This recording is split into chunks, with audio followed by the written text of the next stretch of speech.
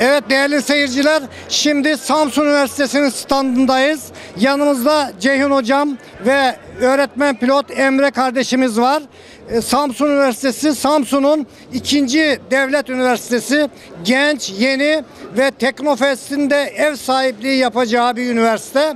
Dolayısıyla Teknofest İnşallah önümüzdeki aylarda Samsun'a gelecek ve Samsun'da bütün Türkiye'ye, bütün dünyaya Samsun'dan hem kendini tekrar ifade edecek hem de Samsun'umuzu, Samsunlu gençleri bir defa daha tanıtmış olacağız. Şimdi ben kısaca önce Ceyhun hocamdan bir görüş alayım. Ondan sonra öğretmen pilotumuz Emre birkaç söz söyleyecek. Buyurun Ceyhun hocam.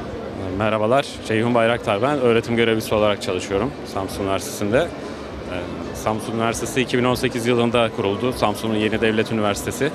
Ee, Genç dinamik alanında uzman e, bir eğitmen kadrosundan oluşuyor. Çok güzel eğitimler veriyor. Evet, üç farklı e, kampüsü var. Biri Canik'te, Canik'te Sosyal Bilimler Fakültesi mevcut. İktisadi İdari ve Sosyal Bilimler Fakültesi. Burada 12-13 farklı bölümümüz var. E, bununla birlikte yine Ballıca'da Mühendislik Fakültesi var. Uçak uzay mühendisliği gibi, meteoroloji mühendisliği gibi, uçak bakım onarım gibi, elektrik, elektronik mühendisliği, makine mühendisliği, endüstri mühendisliği gibi bölümleri söz konusu. Bir de Kavak'ta meslek yüksek okulumuz var. Burada Hocam da daha bu çok iki yıllık Teknofest- bölümlere Teknofest'le yönelik eğitimler ilgili- veriyor. Teknofest'le ilgili birkaç söz söyleyebilir miyiz?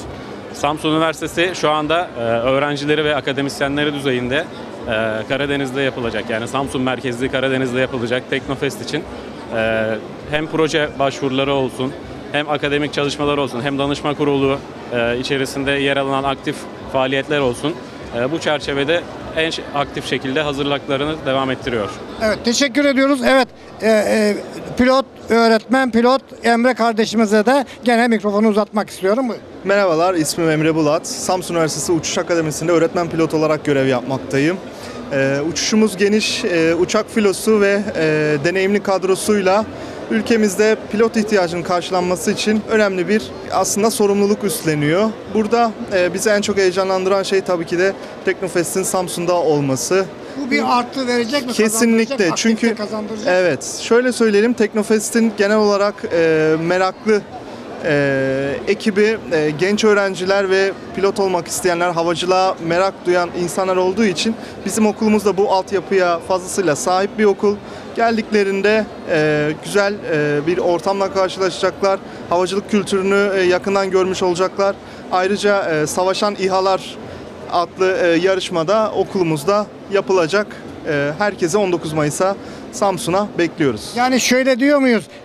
İyi bir iş, iyi bir gelecek ve e, özgür uçuş isteyenlere bekliyoruz. Hepsine kapımız açık. Kesinlikle. Gelecekte güzel bir meslekle birlikte kendilerini ifade edebilirler. Türkiye'ye ve dünyaya hizmet edebilirler. Kesinlikle evet. Okulumuz bu anlamda gerçekten e, ciddi anlamda büyük e, imkanlara sahip.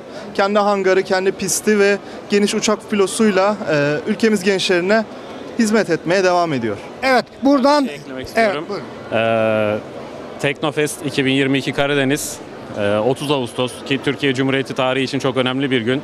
30 Ağustos'ta başlayacak. e, 4 Eylül'e kadar devam edecek. Bu süreçte e, tüm akademik paydaşlarla, tüm e, diğer paydaşlarla birlikte hem standlar hem etkinlikler hem organizasyonlarla e, Samsun Çarşamba Havalimanı'nda olacak. Buraya bu yayını izleyen herkesi davet ediyoruz. Evet çok teşekkür ediyoruz. Ben de Mahmut hocama özellikle rektörümüz üniversitemizin Samsun Üniversitesi'nin kurucu rektörü Mahmut hocama selamları saygılarımı sunuyorum. Evet hocam siz merak etmeyin burası emin ellerde. Teşekkürler.